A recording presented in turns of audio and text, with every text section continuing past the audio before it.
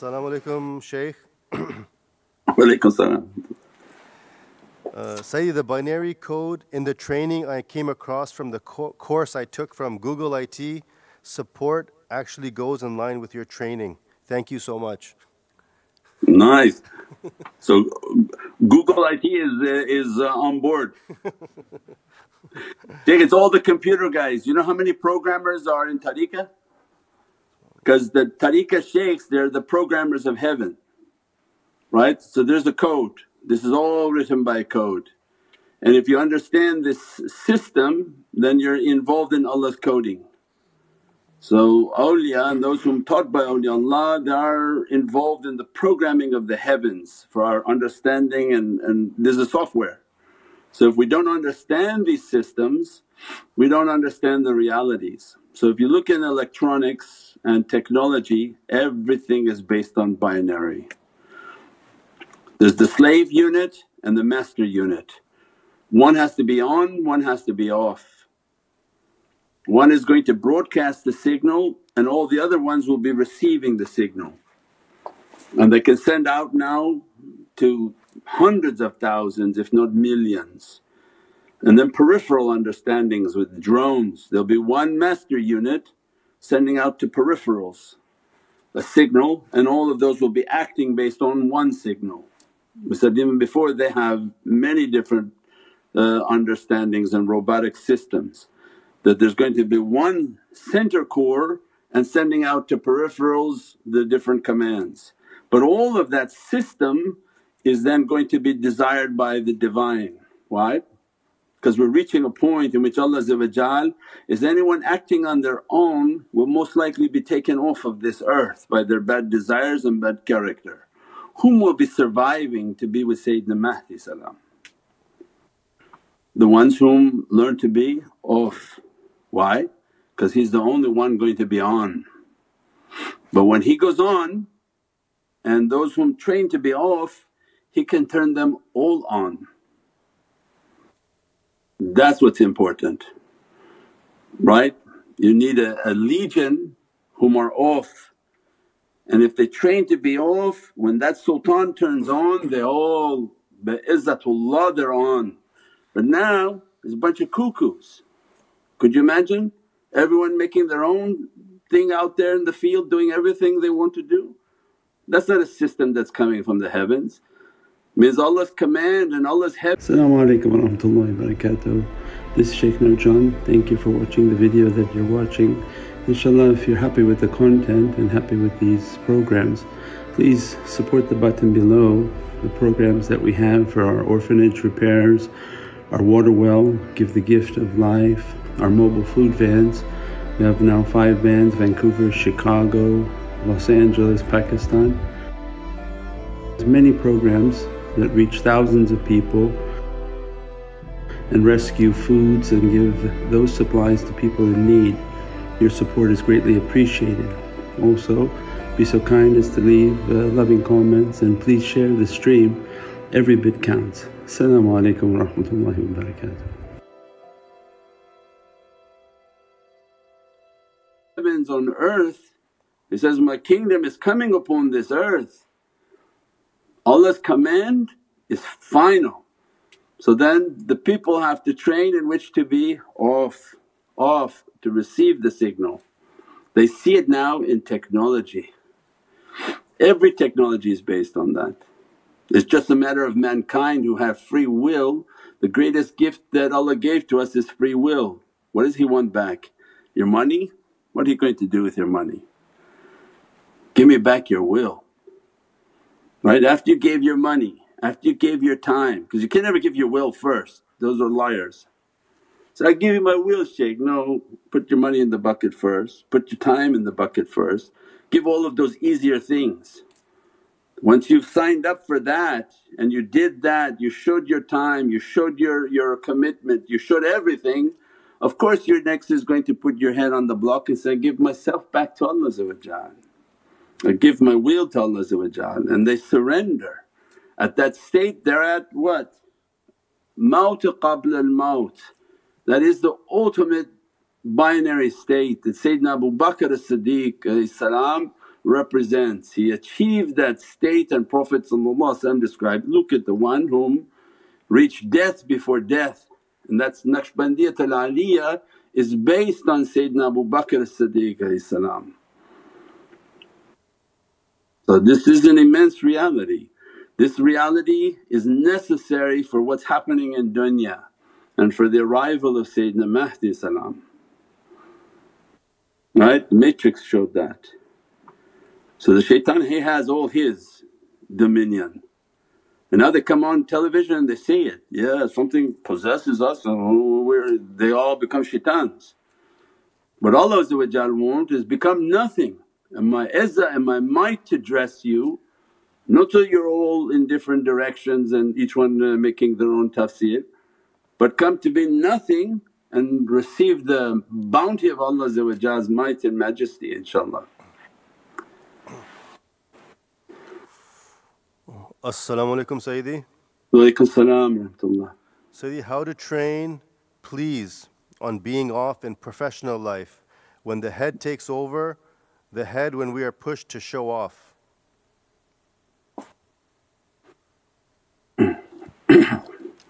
yeah, anything that we do and we do in our spiritual world and spiritual practices, it will carry over into the physical world right?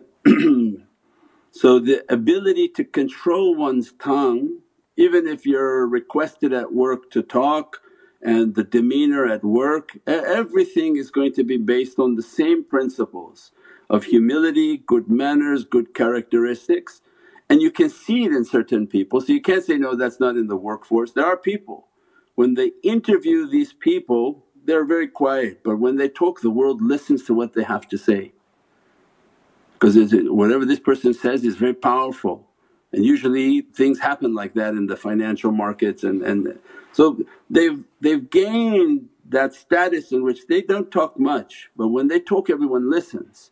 So you can't say that, no that doesn't happen in the, in the material world, it does. This is nonsense gibberish in which the person feels they have to talk so much they actually demean themselves and that will carry through in even their spiritual they'll talk everywhere. So this training has tremendous benefit in the physical world. They take a path of humility and doesn't mean they're weak, it just means they don't show their strength. So that was like we said, we said what was that in Star Wars? Was Yoda. That's why the shaykhs carry an asa. So don't look at a, a, as a man to be weak and old, he can lift the world up if he has to. But if you want to look like you, you a buffalo carrying a car then you're the weakest of them. Because you know you're not going to compete with a buffalo. This is not tariqah way but that's the egoism way. They want to make themselves huge and look i can lift a car i can eat a car too. That's not the way of allah the way is to say that i'm nothing. And Mawlana Shaykh would say, I'm the point 0.0000124, 124,000 awliyaullah on this earth. He said, I'm the point 0.00001 he reached the highest state of humility but he said, if, if Allah turns me on then nukht goes all the way to the other side, I have the power of 124,000 awliya and I can lift the earth is nothing for them. Because izzatullah is not something that can be understood. Allah says to the servant, do your fard then come to me with voluntary worshipness, I've become the eyes in which you see. What is the power of Allah giving you eyes? I become the ears in which you hear. You think they hear only the earth or into the seven heavens with Allah's hearing? So it means things that we can't even imagine. But it's the reverse of dunya. So that when they train to be nothing then the wisdom of their work people will sit with them just to get inspiration of what's the next project because this is now an inspired person who gave them algebra? These people were in dark ages. Who gave them sciences? Ibn Sina. These were all awliya. So it means the one whom sits and trains and meditates and has a connected heart, everyone at work will need to hear what they have to say because they're a trained person when they speak it'll be inspirational. And now many of these Sufis in, in business are leading the way but people just don't know who they are. They're the ones sitting in the science labs teaching these people what to do. There's one, they're teaching them that everything is in the eyes, right? He's teaching these modern people that everything is in the eyes. If you look to the eye of insan, you'll understand the entire, entire being of that person. The, the, the deliverance of medicine will be more powerful through the eye than anywhere else on their body because of all of the capillaries and everything that's coming into the eye. But these are the knowledges of inspired people by awliya who will give them their sciences, give them their understanding of business. For God's sake we taught them math. They had V's and X's. Islam came and taught them what a nukht was. Without that there was no binary code. Could you have binary code with, with Roman numerals? VX1I? No. So it's a matter of Allah's gift to Islam and that the mu'min and Muslim they go back into their tafakkur and contemplation with good adab and inspirations from Allah They are the leaders of business and science and knowledges and realities inshaAllah. As-salamu alaykum wa rahmatullahi wa barakatuhu Sayyidi. Wa alaykum salam wa rahmatullah. Please forgive me for my ignorance and bad manners. Uh, is remaining off limited to staying silent only? No, we're not talking black and white. So you can never ask a question like that that is black and white. It's always with the hikmah and wisdom. Remaining off is a state of humility. We don't ever talk in, in, in, in finite, where is this, is that, halal, haram like this. The state of is has to be understood with the, with the understandings of logic is that when we remain off is a state of humility. That there's times that to be silent, nobody's interested in what you have to say, so don't say it. There's a time that you, you want to say something to show yourself, remain silent. There's times to talk less and not more. And this all again again Prophet gives to us from Sayyidina Abu Bakr Siddiq Seven years he put a rock in his mouth and remained silent. Seven years. And understanding Surah al-Baqarah. So means the, the state of silence is not weakness. The state of silence is, has a tremendous amount of strength and it's very difficult to achieve. So it's not something simple. But there are times in which you chime in and have something to say and there are other times that you catch yourself and saying, better I don't say anything because it's not going to go anywhere. And the people I'm about to say that to they're not going to listen to anyway so I waste it and stay quiet. So that, that becomes an art form in which to remain quiet inshaAllah. As-salamu alaykum Sayyidi. Wa alaykum salam uh, This is from uh, Help Me. Um, can you please ask Sayyidi this question? I understand we need to put up with humiliation and take the reality that Allah 'Azza wa Jal has prescribed, prescribed for us. At what point do we fight back? For instance, if we were charged with a crime we didn't commit, are we to not hire a lawyer to defend our good name? What if we weren't charged with a crime but slandered viciously on the internet? and by speaking up, we could essentially prove the false nature of the claims. Do we just stay silent even though the damage is done and we're now in tariqah? Please forgive my ignorance and any answer is appreciated. yeah, no, yeah these, these examples will go on and on so we can't go through the list of all these examples. Uh, everybody has their, their own understanding but you know you, you have three states. One is that you, you take a uh, eye for eye. What done to you, you can have the right to do back. Second state, when you're raised a little bit higher, you say, okay, damage done to me, I want some money. So I want to seek financial compensation. Third state is Allah asking them, turn your affairs over to me. I will recompense. Meaning what? Then they must have a tremendous faith. If they don't have that faith and they don't have the actions that back it up, they have to know themselves right? So somebody ripping other people off, they got ripped off, of course they're going to go fight over it because they're not hoping Allah is going to solve their issue because they're continuously harming other people. Everyone has to know the state in which they're in but these are the conditions Allah gave to us. You do as done to you so they go and fight their cases. You go and ask for money for the damages that were caused to you and those to whom they have a, a relationship with Allah at a higher state they said, Ya Rabbi I'm going to just stay quiet on this one and you take my defense. And Allah will send from ways they never imagined if their relationship is good with Allah So you don't have to even talk, we'll take care of it and things happen and all of a sudden something comes in front of them or that person couldn't run very far and they had to appear before that person to resolve something. So Allah has ways that are unimaginable. So there's infinite amount of examples of, of this path but everyone has to based on you know who they are and where they are. If, if they're you know doing things on a continuous basis then no better get an attorney because maybe Allah's not going to be sending you that type of relief because you're doing things that are, are causing difficulties to other people. But uh, you know this is a path in which to grow and to build our, fa- our faith. When we build our faith and, and use these practices we reach a higher level of, of these difficulties. So you're a pious person or somebody working on yourself and somebody slanders you on the internet which is uh, very often the case for shaykhs. Don't ever reply. Don't give anybody any, any credibility to even reply. Allah will take that person down. You didn't do anything, Allah will resolve the issue.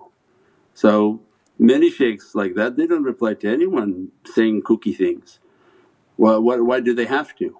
And if, if they if they become aggressive then the hadith of Allah is that I declare war against anyone who comes against my awliya.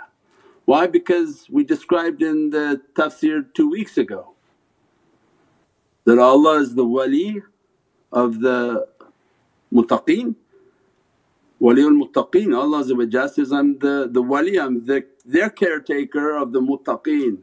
So if they know themselves that their practices inshaAllah have a sincerity, Allah says, I'm watching over you, don't worry.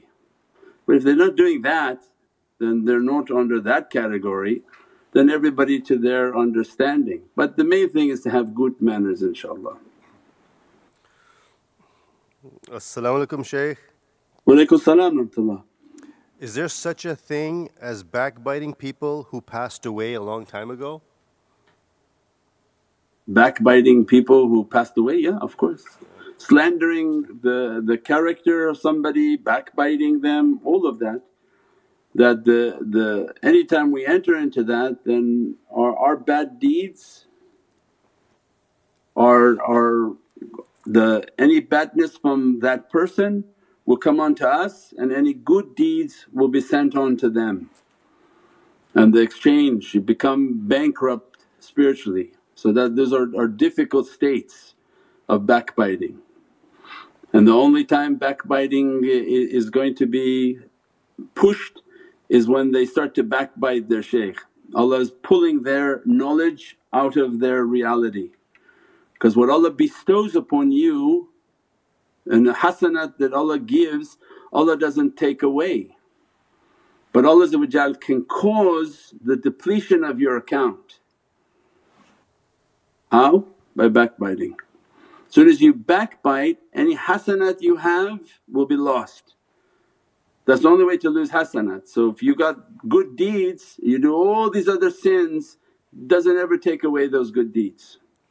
That light always stays in their heart and that's the immense gift from Allah But as soon as they start to talk bad what happens? Those lights pour out and Prophet described, this is then one whom is bankrupted is they lost the lights and hasanats that Allah has given to them. So that's the one to be sort of precautious and, and very worrisome about is not to backbite people and not to talk bad about people inshaAllah. Uh, a few people were asking these questions last week as well. Assalamu alaikum, Sayyidi. What is the reality behind these really bad snowstorms happening nowadays? Is it a sign of heavy energies? Yeah, I think chaotic weather is the sign of the last days. Rainstorms, snowstorms, floods, every part of the world is different. The snowstorm is only here. So it means just a, a time of emergencies and preparation, right? So every time something happens, a believer has to look to themselves and say that, are you prepared? Do you have food at home? Do you have a source of energy at home? Do you have uh, any cash and gold in case the, the banks are not working? Or you're just caught with the, the no, no sort of sign of belief. Belief is to understand dunya is dying. At any moment if it should you know kick into first gear and really die and the bank not open and markets not open and credit card and ATMs are not working and you relied all on that system a sign of faith in all the awliya who train their students where you should have food, you should have a reserve in home for your food, you should have some money and cash set aside, you should have a power source. Now they have uh, instead of a whole generator for people they have uh, cell technologies and batteries that they can put in apartments. So you must have a source of some sort of power some sort of oil lantern, some sort of protection so that if difficulty comes it's a sign of belief, Ya Rabbi I believed and then Allah inshaAllah expand it. Because you make one step Allah comes 99 steps but if you didn't even make one step then that's a sign of uh, lack of belief. So we don't want to be caught with that type of difficulty. So all of these are signs, you know when the snow like that and it tips it a little bit more yeah it could uh, freeze and knock out all the power lines, there won't be any power.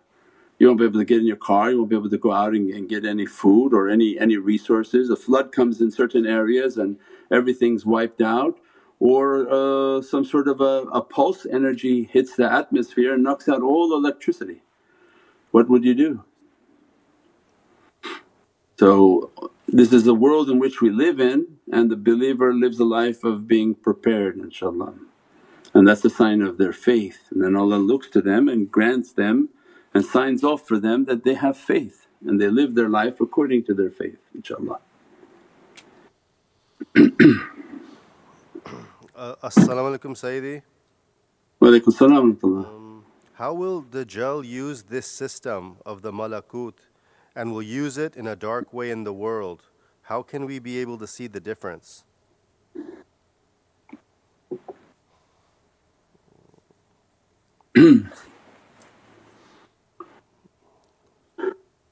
yeah, what we described on, on other talks is that he's a jinn and he's disguising himself as an insan and he's using the jinn world, not the mu'min jinn, nefarious spiritual beings to do his magic. So these are the signs of his magic and that's why we described in our section of Surat al-Kahf and the talks of uh, Surat al-Kahf is not only to read Surat al-Kahf but to be from Ashab al-Kahf. And that's why the permission is to teach the tafakkur. When we teach the tafakkur and contemplation is you open up your spiritual eye. And as a result of your spiritual eye and this aqeedah and teaching that we are the people of La ilaha illallah Muhammadun Rasulullah If at any time they come and tell you, just you know keep the La ilaha illallah and leave the rest, run. That our key to all reality, our key to all power, the key to all blessings is the love and the ishq of Muhammadun Rasulullah and they will take that key away and they have been doing that for the last hundred years with these different groups that, that are, ruling the Muslim world.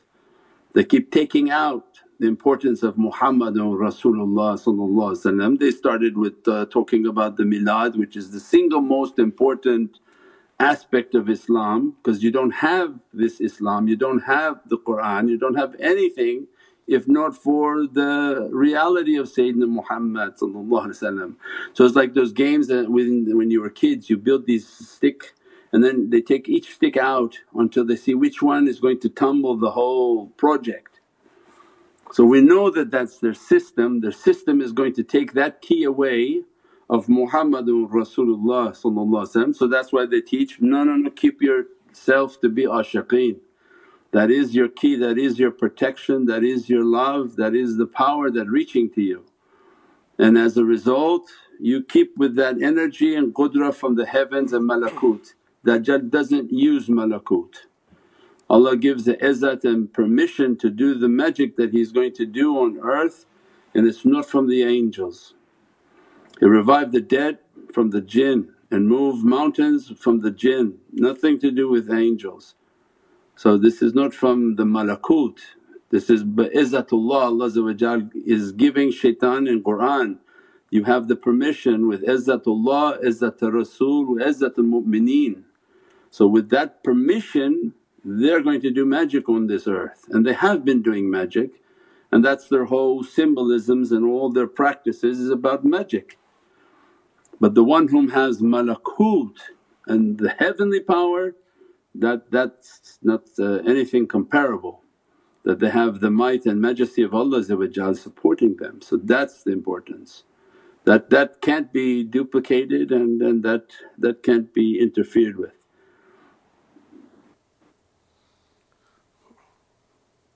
InshaAllah. Uh, meditation question. Uh, As-salamu alaykum Sayyidi. Wa salam rahmatullah. Sayyidi, what is the meaning of real bugs bothering during meditation? Real bugs, you're the spiritual bugs, real bugs.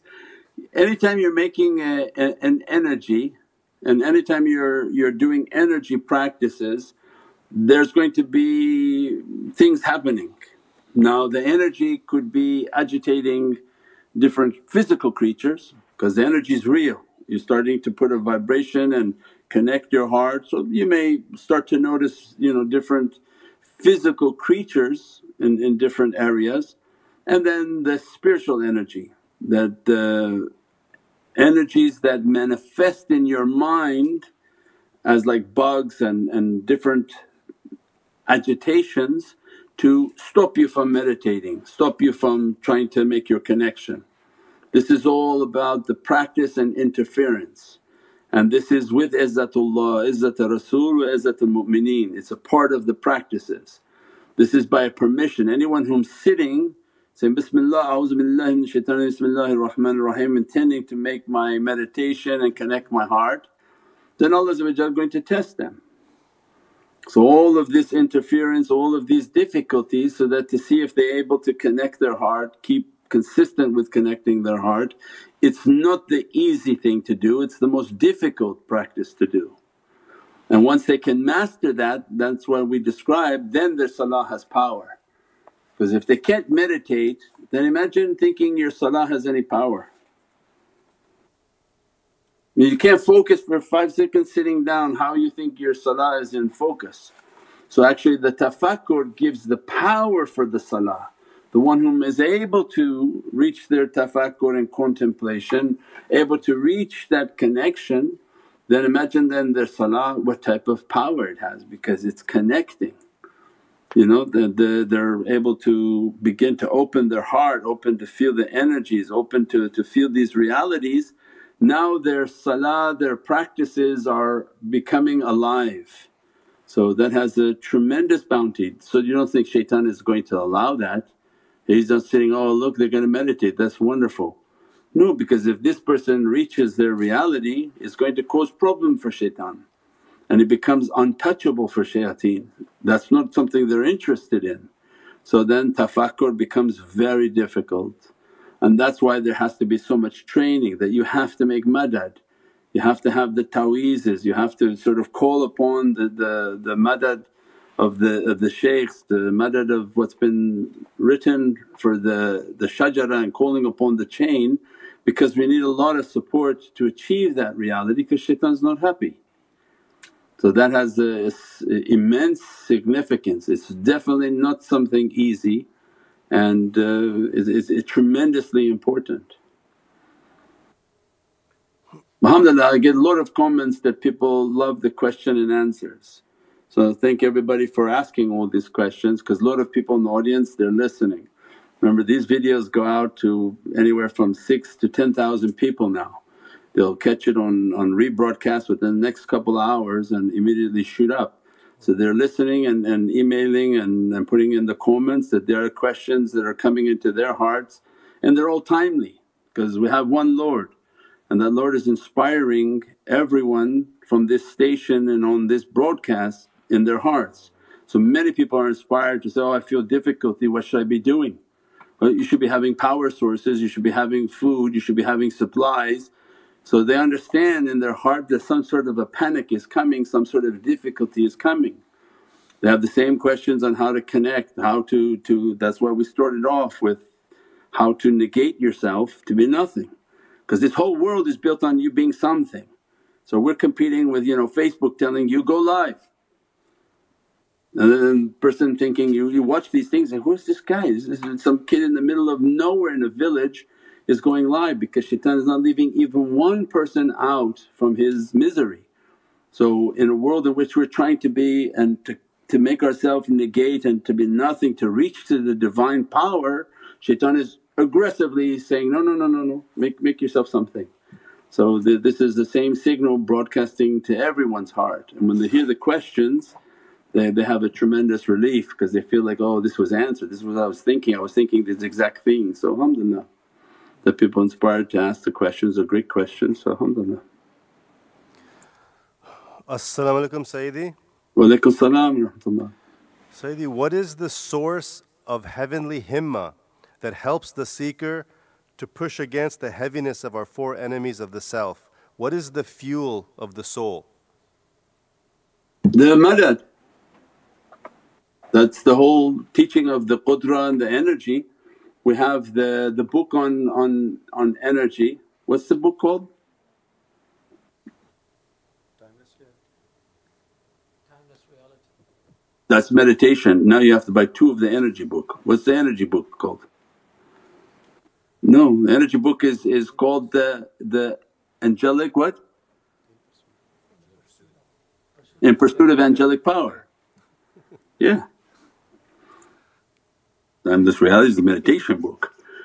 So the qudra and the energy is, is the reality of all that we've been teaching in the pursuit of angelic power. That's the whole of this practice. So yeah, that you, the only way to achieve an energy is to ask for support. Didn't we talk about the, the, the quicksand? When you go to the masjid with the, the regular people, regular communities, the, the guy in the audience says, Shaykh, uh, I have sins and what should I do to stop them? He gets up and says, then make istighfar and he reads a dua and said, make istighfar and finished. And that's ridiculous because the concept of sins is that you fell into quicksand so imagine we're on a path in a desert, you stepped into quicksand and every time you step into quicksand you know that if you move you go faster down. So the more you agitate in quicksand the faster you go down. So somebody just making istighfar how would that energy stop them from all the things that they're doing all the energy they're producing, the same things they're doing on a daily basis, how would that stop them just by making istighfar and not having that sin again the next day? The istighfar, shaitan happy, the istighfar is you ask Allah's forgiveness for what you did. Didn't mean you're not going to do it tomorrow. shaitan is not uh, on vacation. He said, okay great you asked Allah's forgiveness but here we go again tomorrow and then the person goes again. The awliya know that. That's a ridiculous answer because they don't believe in, in ihtiba, wajib al-taqleed, they don't believe in, in following guidance. So what Allah knows of our creation is that you guys are on a journey and in your journey you're with a shaykh and the shaykh he has a rope and when you're on this journey as soon as somebody falls into quicksand what happens? They need somebody to throw a rope to them. But you can't have your friend throw a rope because he's probably in quicksand also because he's in the same problem you are, he's also sinning. So you can't call your friend and say, oh man I have this horrible uh, desire and I do all these sins and what should I do? He said, make istighfar. that person also doing all those things. I mean he's also deep in quicksand telling you something to do but what Allah wanted from, them, from us is what? Hold tight to the rope of Allah and don't tafarraq, don't separate from them. So these people of hub and love they have a rope holding to the heart of Prophet habl. And as a result this love they have for Prophet is a rope and they throw that rope out to the students every time they fall in difficulty. And they say, hold tight to this, do your madad, make your connection, do these wazifa, do these awrads. And then they start to teach. Oh yeah, yeah, stop eating those foods that you're eating, it has a very bad energy. Fast food energy, fast food and somebody in, in, in um, Junub is sitting there making your hamburger and fries, of course he's throwing every type of horrific energy on that food and you're eating it up and enjoying it and, and becoming sick. So the shaykh has all of these teachings, he's sending a rope to the student and he's not in the quicksand and He's lifting them out. And that's why Allah gave for us is to follow, follow those guides. Keep within the turuqs, follow guidance. It means whom are guided are rightly guided, those whom Allah did not guide have no guidance. So it means that Allah sends people to guides because they hold a rope from the heart of Prophet because their bayat was real. They took their bayat they took the hand of Prophet Allah's hand upon that hand means now there's a rope on them and any student that asking for help that rope is reaching to them and that's why they're teaching that you're all in quicksand if you think you're going to do a, a wazifa, you're going to make istighfar and pop yourself right out, you have the wrong understanding. So what you do is make your madad. Ask for more energy to come, more madad to come, more power to come. Then they say, make this zikr, make this awrad, go out and do this charity. All of these actions are pulling the student out of that difficulty and taking that bad desire away. The more they make madad, what happens? More of these lights are reflecting onto them and burning away that satanic energy. Why? Allah described Prophet shahidan, mubashiran wa nadhiran. The shaykh is a representation of Prophet Shahidan means he sees your, what you're doing. If Prophet is, is nazar is upon you means he's sending a light to stop those energies, stop these desires, stop this characteristic that you're doing. Mubashiran These lights are now flowing to the student who is making madad, the student who's going and giving charity, the student who's making their istighfar, their wazifas and their zikrs more than their istighfar, they're doing all the recitations that the, the Naqshbandi awrad has. And this mubashiran is these tajallis dress them and now to lift them out of that and say, you know I don't feel that desire to do that. I feel kind of ashamed to do. I feel Prophet's presence, I feel this love and I feel ashamed to do those things. I don't want to talk harsh like that, I don't want to hurt people like that. It's not that you make by yourself istighfar, Allah wanted everybody to be in a community. It wasn't supposed to be a solo mission where everybody just go off on your own and, and you're going to reach paradise but on your own but this was a fellowship that what Kunu ma sadiqeen, ittaqullah, have a consciousness, wa kunu ma sadiqeen and keep the company of truthful servants, truthful in their deeds and in their actions. And that fellowship of power, they're reaching towards the, the, the Lord of power and the, the realities of Allah and that becomes the reality. So every time they're in difficulties make a madad. you email, oh I'm doing this and this, okay no problem, start making your madad, start giving charity. You know the zakat and sadaqah wipe out these sins so that your account is not negative every night. If you're going to do something nasty and bad and inappropriate immediately give sadaqah before the night ended. You have to balance your account, it's accounting. You know if you don't know good accounting you'll be bankrupt in about two weeks. Spiritual accounting is much more important. In the morning wake up and say, I have like what? You slept good maybe with wudu you have 10 points. Now go out throughout the day and then start writing your sayyat. I did this one, I did this one, I did this one, I did this, I talked bad, oh this one, I did this. And you make an accounting of yourself, you say, I got oh 45 sins today. But before that night ends, give sadaqah because the one sadaqah has 10 in Allah's value. Allah rigged the game for us to win. So if you do 10 hasanats, those 10 take away 10. So you do 4 good deeds, it counts as 40, you balanced out from the sins. So then do 50 and get 50 points so that you're up, you're up 10 not down 40. So it's very, it's very simple. If somebody and that's what we call muhasabah, accounting.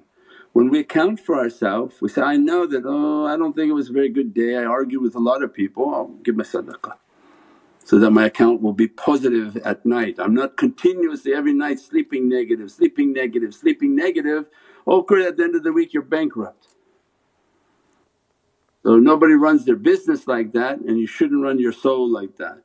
So Allah gave us all of these realities for us to achieve and that's why then the muhasabah, accounting, tafakkur and, and contemplating inshaAllah Allah dress everyone, bless everyone, thank everyone for their questions and participation.